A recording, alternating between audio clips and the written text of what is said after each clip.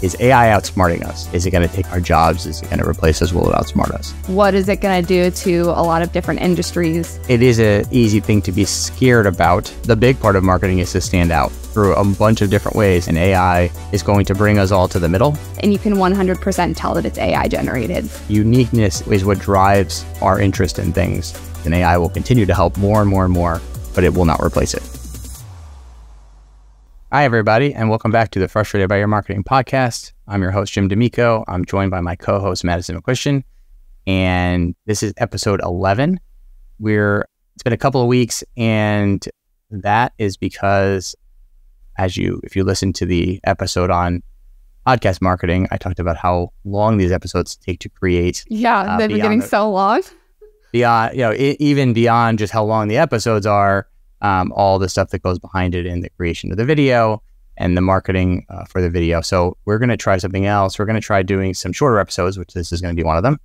And uh, we'll intermix them with some longer episodes. And we we are just, you know, we're figuring this out. We're experimenting and it's been a lot of fun. So, hey, it fits with our podcast name perfectly because, you know, when you get frustrated by your marketing, sometimes you have to try something different. That's right. And yeah, this has been a, uh, a big experiment for us in in more ways than one. We're experimenting with the length, we're experimenting with guests, we're experimenting with how we're advertising it. And yeah, so this is a different one. And so this episode was inspired by our summer intern, Olivia, uh, who's been with us for about a month, and she's been great to have on the team. And I had her listen to the podcast, and I think she's listened to almost all the episodes. And uh, we talked about it uh, at length. And her question to me was, is AI outsmarting us or will it outsmart us? So I want to talk about that a little bit and what what I think about that. So before I do that though, I do have a prediction. So my kids, if you're you're born after 20, 2015, I think it is, you're going to be called Gen Alpha. And I have a prediction that in the next year or so, that will be renamed uh, to Gen AI as of uh, how so big crazy. of a deal how big of a deal AI is in our society. The millennials were really Gen Y, but because of millennium. They were renamed uh, to the millennials. And so I have a feeling that they'll be called the, either the AI generation or generation AI because it is so ever present and it's scary. Mm-hmm. And the fact that Olivia is asking this question shows how scary it can be. Is it going to take our jobs? Is it going to replace us? Will it outsmart us? And that's like the main question for a lot of people right now is what is it going to do to a lot of different industries if you're in that job field? Right. I mean, I read posts about it uh, on an almost daily basis from people in, in marketing and just in other industries, uh, scared that they're going to lose their jobs and, and how, you know, you know, I shouldn't be a designer anymore. I shouldn't be a writer anymore. And it is a easy thing to be scared about, but I don't think it's going to replace your jobs. I don't think it's going to outsmart us. Uh, you have to remember that uh, generative AI, which is what we're using in ChatGPT and Bard and and all of those different sources, is just a regurgitation in, an intelligent language model of what we've already written and what we've already produced. So not creating, it's not, you know, it's not intelligent. Uh, it feels intelligent. It's artificially intelligent, right? It's regurgitating R. So imagine it being, you know, and it, it makes mistakes like this, but imagine it being your best research assistant possible. And it's culling through, you know, you know, all that data out there um, that has been fed into it and it's recreating stuff. It still can make mistakes. If we made a mistake, the mistake mm-hmm. continues. So it's not like it knows it. Do, it doesn't understand industries. It's just taking what industries have said and it it sort of you know repurposes that. So anyway, so that's the question. And my take on it is that the analogy would be kind of like a calculator. So when when we were in school, um, before we all have a calculator in our pocket at all time now, with our phones, it was always the you know some some kid would always say, "Why do I have to learn this? I can just use a calculator." Um, at that time, it was a separate device. Now it really is with us all the time. But the reason why, and what teachers would say, or what they should have said, is if you don't learn the basis behind the math, you can't use the calculator well. Maybe you sort of can for addition, but once you get into more complex math problems, if you don't understand the basis behind it, you can't use it. Yeah, I'm same... terrible at math. So but you but you learned enough to use a calculator is my guess for the most part you can probably figure out a tip you can probably figure out percentage rates interest rates and things like that. And and if you didn't learn the thing behind it, again, the calculator has a percentage tool, but if you don't understand what a percentage means, Yep. you can't use it. And if you don't understand, or at least understand what to ask. So in the case of ChatGPT, you have to ask it something intelligent. You have to understand what to ask it. Otherwise, it's just going to guess. And a lot of times, if you ask it the wrong thing, it's really wrong. It, you know, sometimes you could ask it the right thing and it's wrong, but it's really wrong. So you have to guide it um, like you would an intern or an assistant, that that amazing research assistant. Like so, if you just said go research stuff on marketing, okay, they're not. You have to get you know on marketing for this specific industry, for this specific topic, for these dates, for this region, for this state, for the city, whatever you know, whatever you want. You've got to you know guide it and and also give it that specific direction. Otherwise, it's going to come back with something either wrong or way off topic.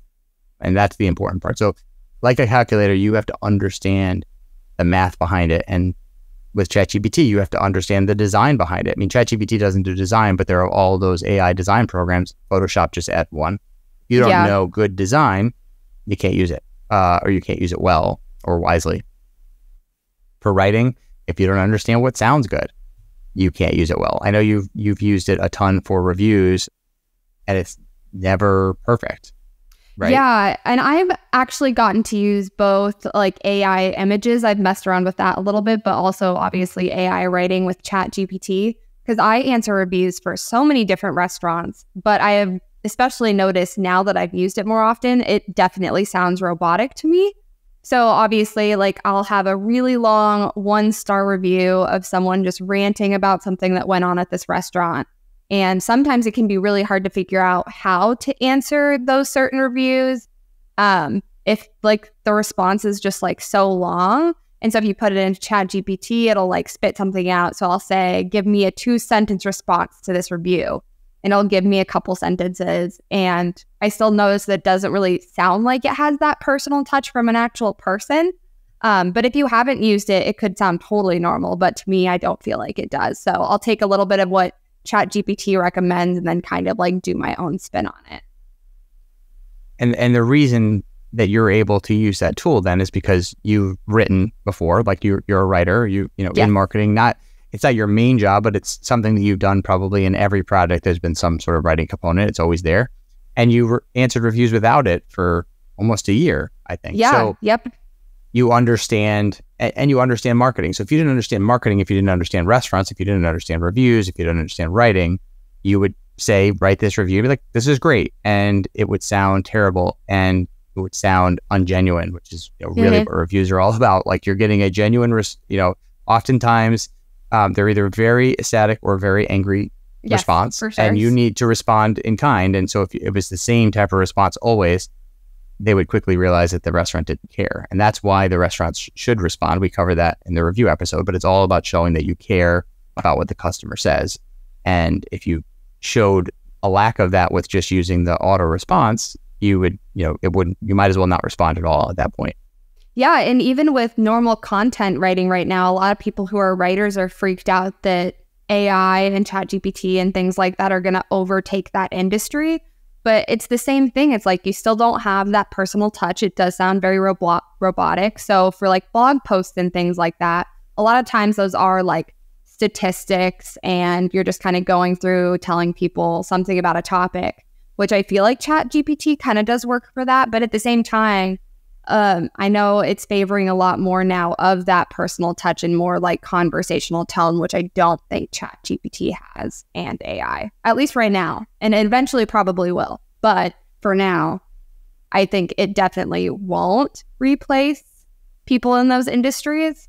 Because same thing with AI images. I mean, I see that all the time too, being an author with people needing cover covers and things like that, and people will mess around with it, and you can 100% tell that it's AI generated. And people will comment on it because that's not like a popular thing as of right now, but it may be here in the future. But right now, I still don't think people have, I don't think people need to freak out about it quite yet about it totally replacing these different industries. Yeah, I don't. I don't think it'll ever replace them. I think it'll. Again, it's a great tool, and you, you know, also the piece I'll sort of leave you with is that uniqueness is, is what drives um, our interest in things. As humans, we we crave that uniqueness. Like we get You know, we get a dopamine hit when we see something new. And so if every book author, let's pretend we get to the point where the book covers are amazing. If they were all so similar, then you which one would you pick? The reason why when you go into a library, you know, and this is the perfect analogy, books they're, you know, oftentimes you can figure out what genre you're going to read based on the book cover. Yes. But they're all over the place. And you could obviously tell romance from crime, from mystery, from horror, but they're they're very very different. Now, certain authors have a style, so you're, if you're comfortable with it, but between between each other, that uniqueness is what is what we crave. And so, if we left it to AI designers, you're not gonna, you know, all of a sudden there's no reason to pick based on the cover. And same thing for writing uh, with blogging. Now, again, it's a great research assistant. You get that data, but if if every blog post is written for every plumbing company in the entire United States about why you need XYZ pipe and that you're trying to sell or a new technique, there's no reason to pick plumber ABC versus plumber XYZ. I've noticed too, which is kind of funny when I've like posted reviews, sometimes it will spit out things that I'm like, okay, I don't like this. And I'll put like put something similar to what I put in there. So I'll change it up a little bit and say like, okay, I need like a kinder review to this and it's just funny to see that it'll spit out the exact same thing.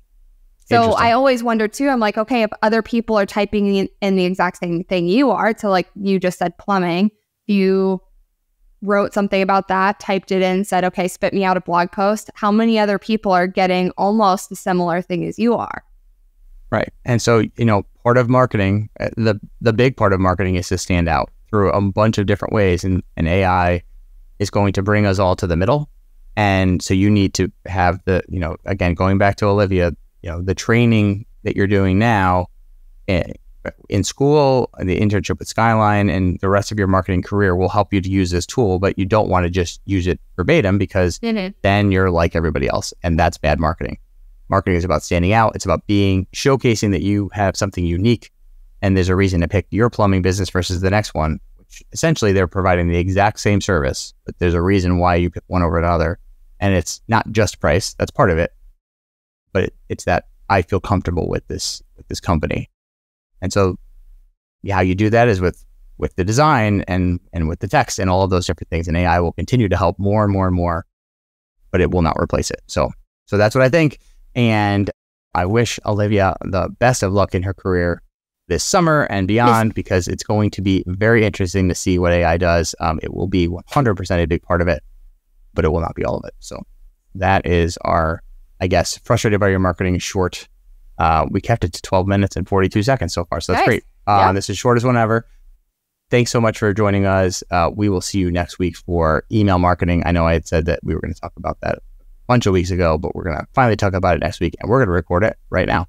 So be so. on the lookout. so uh, thanks so much and uh, see you soon. Bye. Bye.